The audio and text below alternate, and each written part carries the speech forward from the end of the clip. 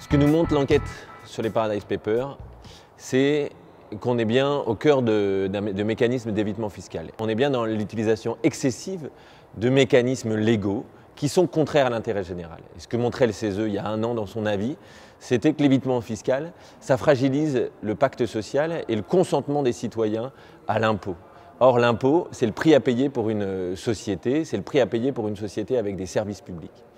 Alors, les recommandations du CESE, elles euh, sont de différentes ordres. Avoir une véritable euh, engagement des États au niveau international et européen. Le CESE préconisait notamment euh, l'édification d'une liste des paradis fiscaux qui inclut euh, les territoires et les pays de, de l'Union européenne. Elle fait également un certain nombre de propositions en matière de transparence, parce que le maître mot dans la dynamique euh, de lutte contre l'évitement fiscal, c'est la transparence et la responsabilité des acteurs comment aujourd'hui les entreprises, euh, les multinationales sont invitées à déclarer pays par pays l'ensemble de leurs activités et des impôts qu'elles payent euh, dans leur pays. Comment on modifie euh, la législation autour de l'abus de droit. Comment les intermédiaires déclarent en amont leurs montages fiscaux pour avoir cet agrément fiscal. Dans son avis, le CESE avait fait aussi des propositions pour que les institutions représentatives du personnel et les représentants des salariés soient davantage impliqués dans leur entreprise